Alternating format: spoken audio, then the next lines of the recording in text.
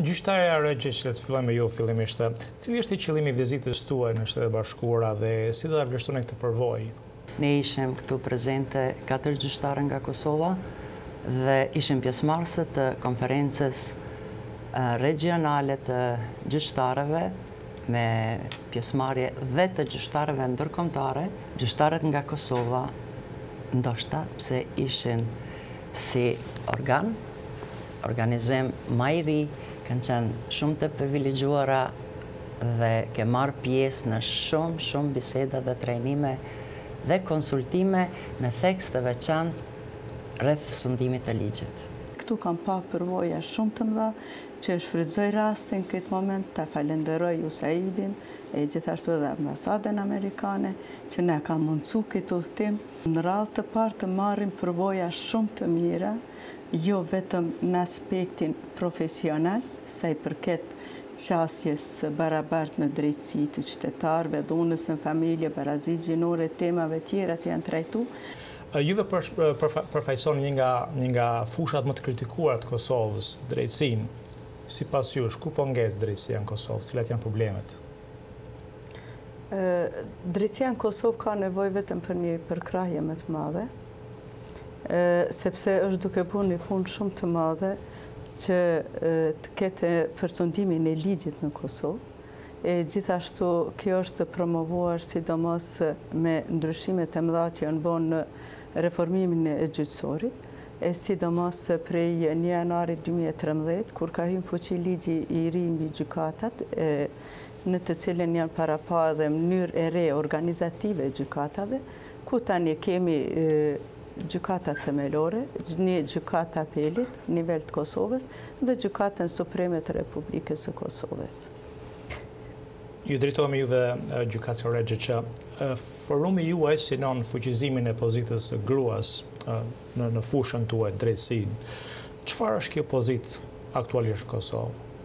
Formimi i Forumit të Gjyqtarëve dhe Prokurorëve ka qenë gjëja më e mirë dhe më e rëndësishme që ka ndodh për Kosovën tanësi, por veçanti për sistemin e drejtësisë të Kosovës. Forumi i Gjyqtarëve dhe Prokurorëve ka vizion të vetin, afirmimin dhe emancipimin e punës së gjyqtarëve dhe prokurorëve në kuadër të sistemit të drejtësisë të Kosovës. Ndër çështjet e diskutuara në konferencë ku keni marrë pjesë ju dhe ku merr pjesë dhe forumi juaj është edhe qasja ose gjithëpërfshirja në drejtësi nga të gjitha nivelet. Sa po ndodh kjo në Kosovë? Është e vërtetë që na duhet ende punë të bëjmë që të ketë qasje të gjitha niveleve në drejtësi. Është e vërtetë që deri tani është bërë një punë e madhe ashtu që edhe gjykatat janë dizajnuar në atë mënyrë që të mundësohet të gjitha të gjithë qytetarëve që të kenë qasje në drejtësi, duke ju mundësuar edhe përdorimi i gjuhës që ata flasin, pastaj transparenca është duke punuar sidomos këtë vit shumë që në ngritjen e transparencës të gjyqësorit, njerëzit t'u mundësojnë qasjen e barabartë në drejtësi, si në lëmit civile ashtu dhe në lëmin penale. Kohët e fundit, a është shtuar dhuna ndaj grave, apo është shtuar ndërgjegjësimi i grave për të raportuar dhunën? Ju e dini. Është një pyetje për të...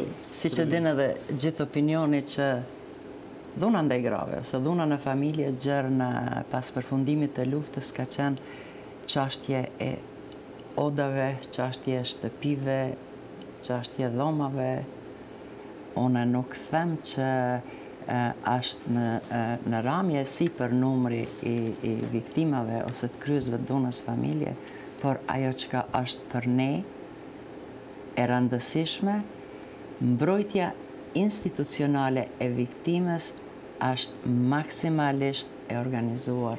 Dhuna ndaj gruas është kancer i mushkërive, sepse gruaja është themel i shtëpisë dhe i shoqërisë.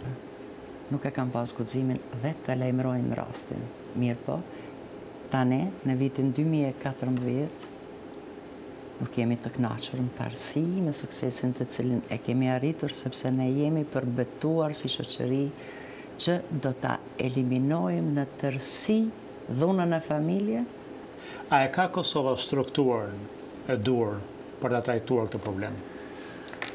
Duhet ende punë për të bërë.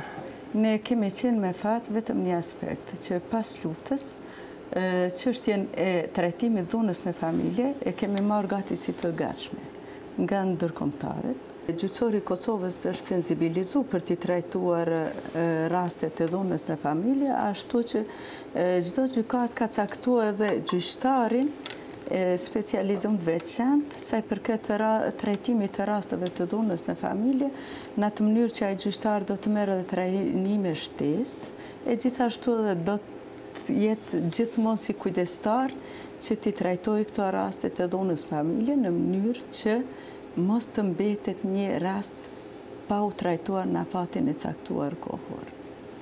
Kemi nevojë të na përkrahin edhe ma tutje në këtë aspekt, sepse ju e dini që Kosova ende është një vend i varfër. Dhe me të vërtetë, posaçërisht kur janë në pyetje strehimoret, duhet të bahet një punë pak më e madhe. Atëherë nuk na ngelet gjë tjetër veçse t'ju falenderojmë dhe t'ju urojmë suksese në punën tuaj. Faleminderit. Faleminderit edhe juve.